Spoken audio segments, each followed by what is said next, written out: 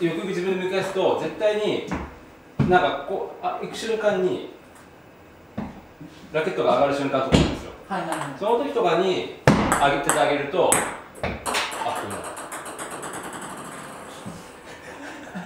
ダメだ俺これ説明下手くそだ。マジ感覚。いやいいと思います。こうじゃん。こうじゃん。これ下で。下で。じゃないですか。でまあこういうこのホームに関してはこういうね動きなんですね。だからもうここら辺でなんかごまかしやすそうな上に上がる瞬間に当ててあげると上になるんです。ここうする？そうそうそうそうそう。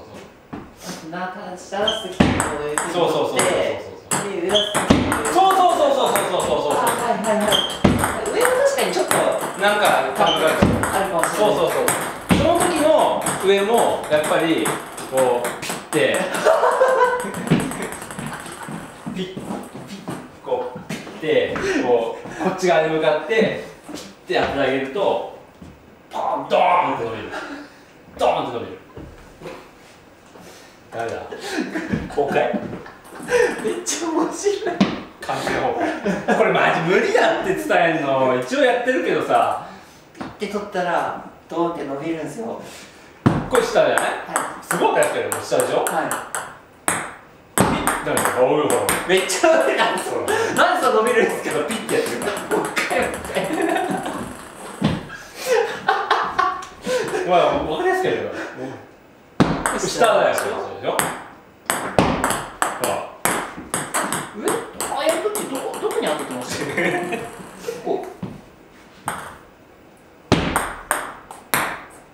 こうはないねもうねだからさっき縦のラインのうはい縦のラインをそのまま初めの方に振りながらピッてやってる。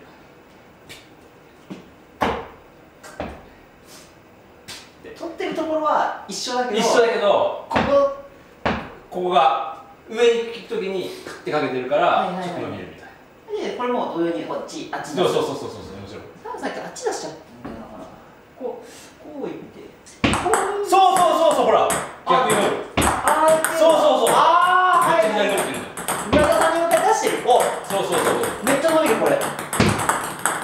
ほら全部左が変わるでしょ。本当だ。こういう感覚なん。だで桜井のあのこれも全く同じよ。はいはいはいはいはい。ピッてかける。ピッて。ピッてあっちに。そうピッてかけるこっち。だからそのピッてこっちにかけるのがみんなできないから伸びないって言ってる。はいはいはいはいはい。伸ばしたかったらこっち来るからさ。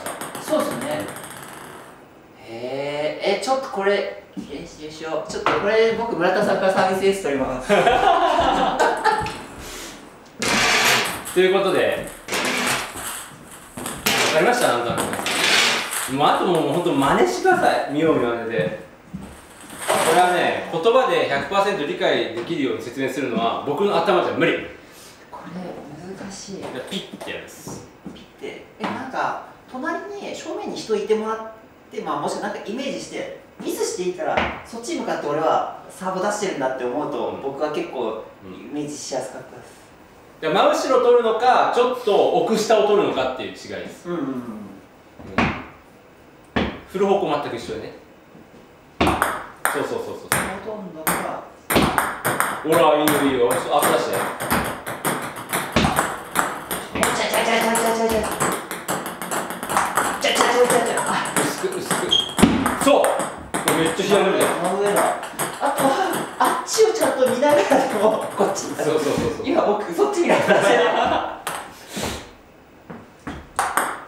そうそうそうそうそう。まだあれだなアップうまいよめっちゃ。めっちゃレベル上がってる。この感覚はあります下を同じようにおおおー、アウトボアエグかった。いや、ちゃうちゃうちゃうちゃう。難しいな。まだ下がね熱いです。熱いですまだ。はじめさんはまだ熱いです。ピじゃない。ピじゃないです。ピですピピピってやるんです。これ、これなんか、31とかにあげたらすごい面白い。年末最後のグタグタの動画ですみたいな。ということで皆さん練習してみてください。多分聞きます。出せれば絶対に初見落としますよ絶対。ちゃんと切れるよ。いや、でも、面白かった。こういう感覚なんですね。そう。ちょ、ちょっとわかりました。なんか不思議な感覚なんですけどやってればできるようになると思うんで。多分。ぜひやってみてください。桜井コーチも褒めてくれてたんでこの下書いてるの。ぜひ身につけて来年一発目の試合で出して相手にネットミスさせてください。ということで終わりたいと思います。ありがとうございました。ありがとうございました